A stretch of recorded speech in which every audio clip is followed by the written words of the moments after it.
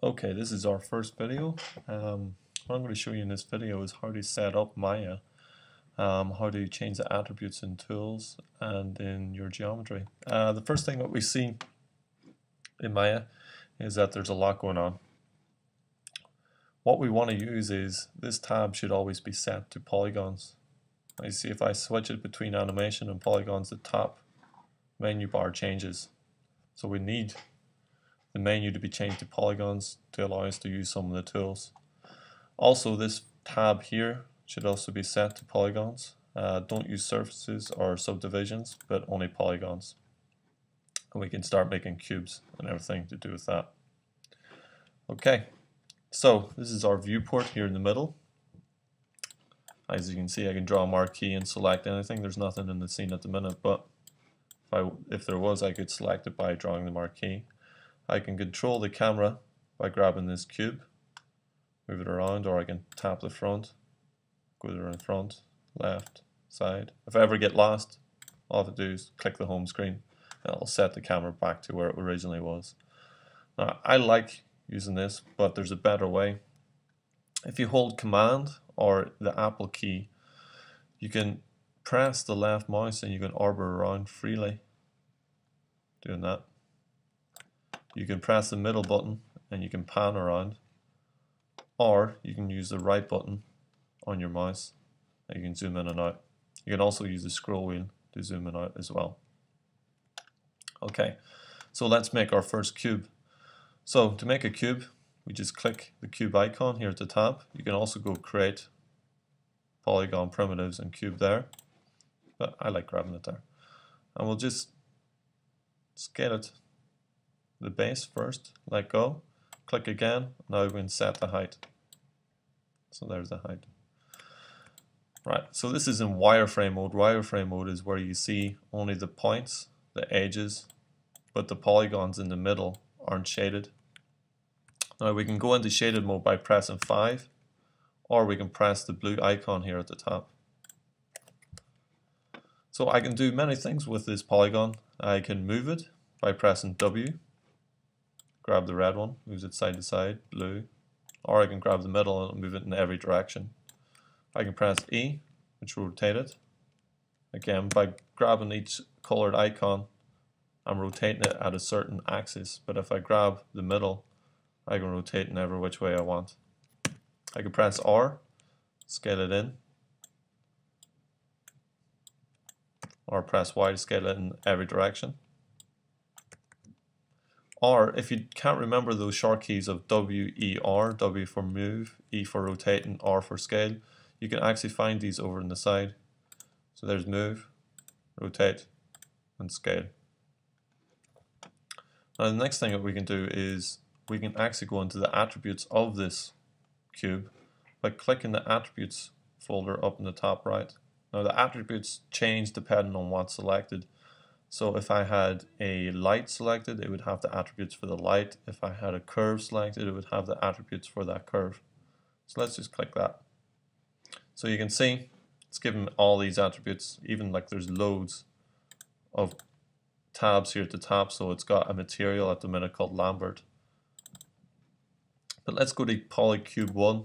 And in Polycube 1, I can actually go down, change the width and height. So the attributes here and I can actually subdivide it. So I can add in more and more edges, more and more points, which creates more and more polygons. And the more polygons you have, the more detail you can make an object. So that's the attributes editor. Let's get rid of that. Next thing is our select tool here at the top. If I double click that, tool settings will come up. So I can change my selection tool from a marquee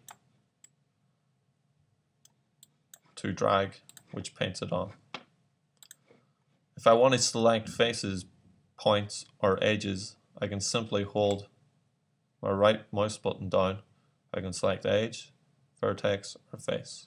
At the minute I'm going to go for face. Face means polygons as well. You see in a marquee, I'm going to have to singly select these. If I drag a box, it'll select it where that box falls but if I look behind it's also selecting these ones that weren't in my view and sometimes you don't want that. So I can use the drag option. The drag option will come up with a paintbrush where I can paint on which polygons I want to have selected. So sometimes it's a lot easier to use. And again I can press W and I can move these up. Press E I can rotate these. Or I can press R and I can scale them in and remember if you do make a mistake by moving a polygon where you don't want it to be moved just press Z and use the undo button so in my selection tool settings I can use soft select also this soft select allows me to gradually move objects around my actual selection. So if I move that up, you can see it's actually moving polygons and edges that are quite close to my actual selection and slowly it falls off so these ones won't be move, moving as much as the rest of them. Okay. Um, the last thing that you have to do, and should be actually the first thing you do once you open Maya, is to set up a project folder. You can do this by going File, Project, and New. Once you've done that, just use defaults. Browse for a location. I'm just going to use my desktop. And name it. So I'm going to name this Maya uh, project. And throughout the year, this is a project folder that you're going to be using for every object you make. Every texture that you create, you put it into the source images folder, which is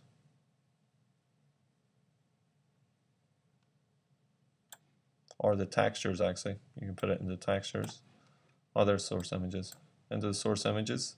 All your scenes should be saved in the scenes and any reference images into your images. So that means for every project throughout the year, doesn't matter if you're setting up a new model, you use this project folder and we just accept that. So once that's set up, at the start of every lesson, every new lesson from there on, as soon as you open Maya, you should go File, Project, and Set. Find your project folder, choose that one, and set that folder. So that means now Maya knows exactly where all your scenes are, all your textures and all your reference images. So it never loses them, never disconnects the textures from your models. So you never lose or have to work harder to get all your textures back on.